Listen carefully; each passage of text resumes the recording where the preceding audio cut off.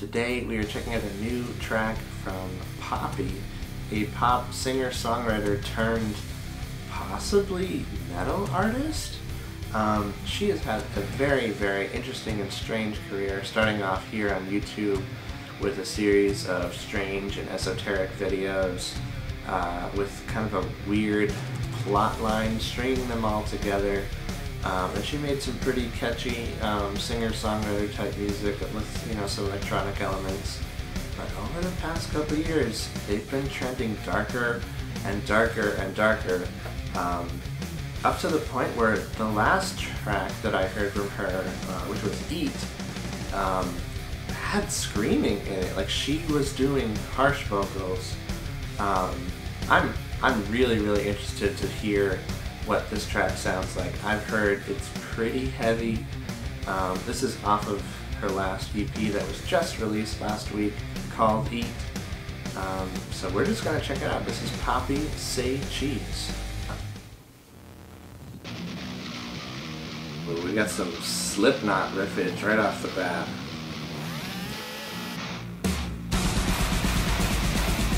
It's really chaotic.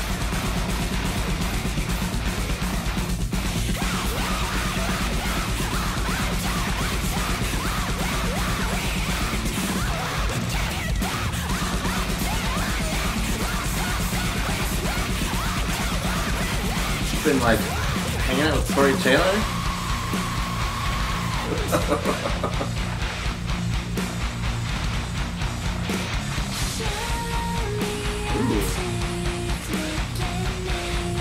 nice clean vocals. Reminds me of uh, Evanescence or like uh, Flyleaf a little bit.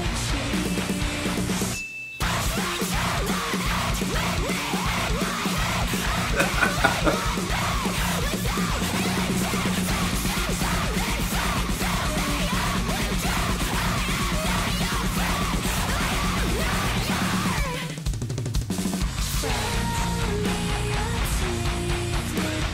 like flyleaf chorus.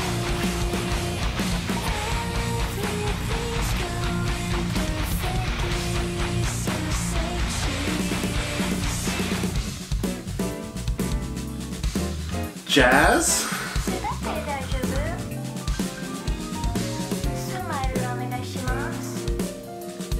Really nice jazz. Say cheese.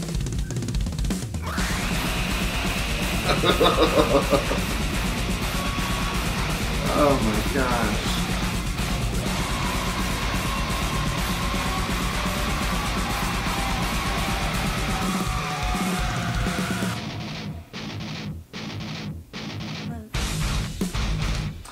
Said move.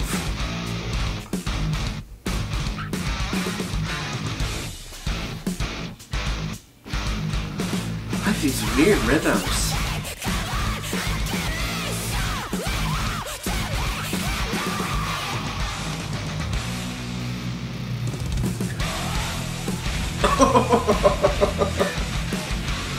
Oh,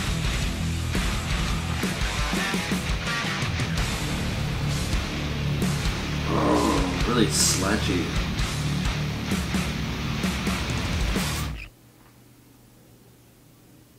Wow.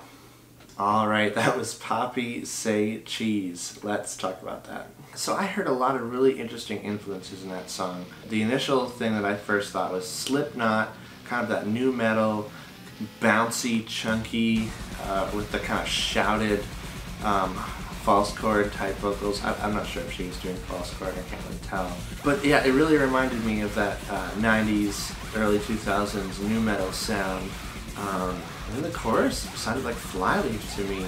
Uh, Flyleaf has another iconic female front person, uh, an incredible icon in the scene, uh, really inspirational for a lot of young women, I'm sure.